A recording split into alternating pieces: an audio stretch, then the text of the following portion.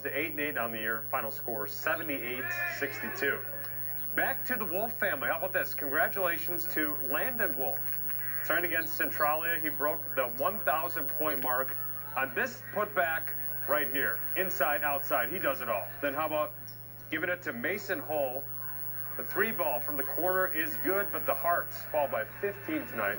Final score is 70 to 55.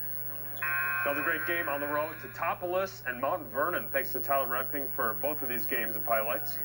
The shoes Ian Addis with a really nice floater here on the reverse baseline move.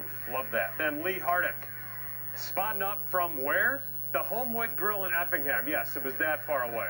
But despite Dawson Smith's clutch shot at the end of the third quarter, it's 55-48 Mount Vernon. Karen Henkelman in Effingham loves the Homewood Grill. Let's go get a burger.